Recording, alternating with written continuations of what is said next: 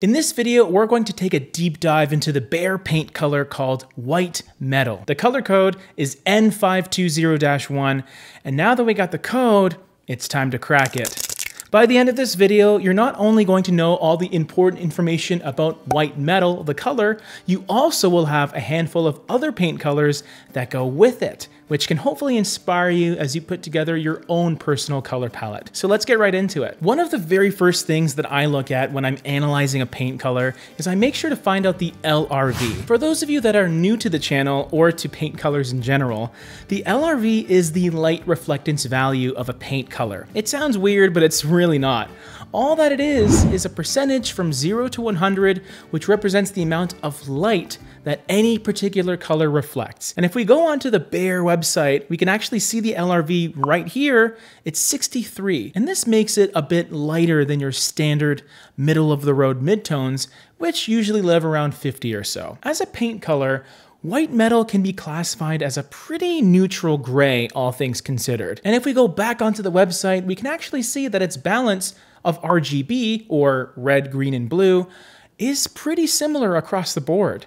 The only one that's a bit different is the blue value, which is just a bit less. And believe it or not, that actually makes an impact as to how this color looks. Even though this is nearly as gray as you can get undertones wise, the fact that there's less blue means that the red undertone ends up being slightly more prominent. And this can give the color the most subtle of purple undertones in the right lighting conditions. Now, I don't normally recommend referring to RGB values when determining how a color will look. It just so happens that in this case, it actually does work out. Overall, it feels pretty light as a color. In fact, colors that live around that low 60s LRV range end up being pretty easy to use. They just sit in a nice sweet spot of depth. 63 isn't dark enough to make whatever space you use it in feel like a spooky haunted castle.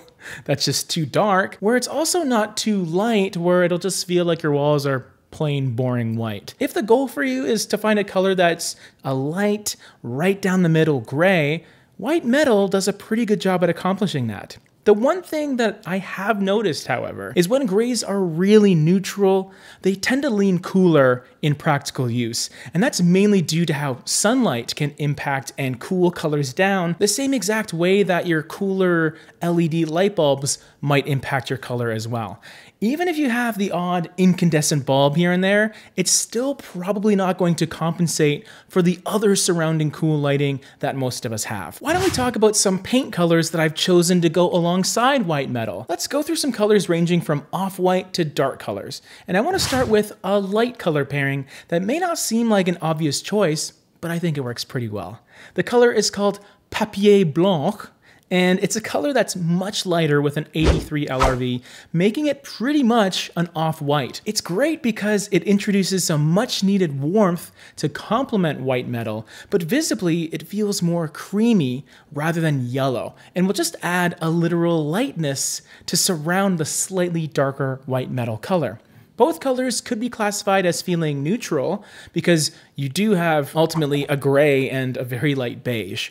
But because they're on opposite ends of that neutral spectrum, you could say, they will work in tandem but do different things. If you're thinking about using this color on your trim, just wait till the end of the video because I do have an even better option for that purpose. Continuing on with our mid-tone color choice, I wanted to steer away from gray and beige, but I was a little apprehensive about picking something overly vibrant, which could pull too much focus away from the other colors. I think I accomplished that with Hydrangea Bouquet, which is a beautiful dusty mauve that combines red, gray, and maybe a little bit of brown. Remember how I mentioned that white metal can sometimes show the slightest hint of purple? Well, that's why I wanted to go with something that has a bit of that purple aspect as well, but on a much more apparent scale. This color is definitely more rosy then purple, but they're within the same sort of family, so you could call them adjacent to one another. The next color is a direct complement to Hydrangea Bouquet, and it is in our dark color pairing. The color is called Heritage Park, and it is an awesome shade of green that is saturated, but at the same time grounded. It's not necessarily warm or cool feeling, although it does have that evergreen type of feel that I really enjoy. The same way Hydrangea Bouquet was bright, but not overly vibrant, neither is this color. They're definitely more saturated and colorful than the first two colors, but everything just sort of works cohesively. All that's left is a suitable off-white paint color, which I always find is useful to have at your disposal, especially if you want to pick something for your trim, more specifically some nice white baseboards for example. For that use case, I would go with a bit of sugar, which is nice and soft, but still clean.